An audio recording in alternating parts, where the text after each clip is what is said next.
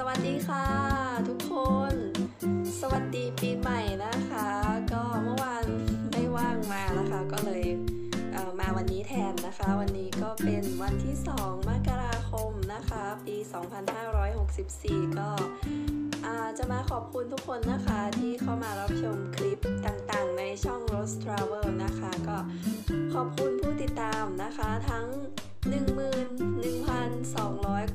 นะคะ ก็ขอให้ถึง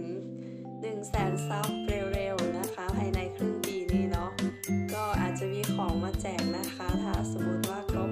50,000ซับหรือว่า 1 0 0 0 0แสนซับนะคะ ก็อยากให้ทุกคนเข้ามากดนะคะถูกใจแล้วก็กดติดตามช่องของ Rose Travel กัน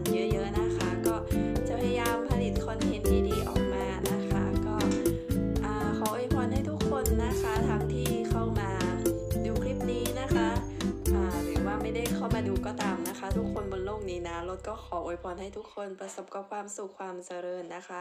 มีความสุขสุขภาพแข็งแรงนะคะ คิดวังสิ่งได้นะคะ ที่เป็นไปโดยชอบประกอบด้วยธรรมก็ขอให้ประสบความสำเร็จแบบง่ายๆ สบายๆนะคะ รวยๆเฮงๆนะคะ มีไรายได้เยอะๆตามที่ทุกคนต้องการนะคะก็เป็นกำลังใจให้กับทุกคนทุกช่องนะคะ ก็ยังไงก็ช่วยกดไลค์ กดแชร์ กดติดตาม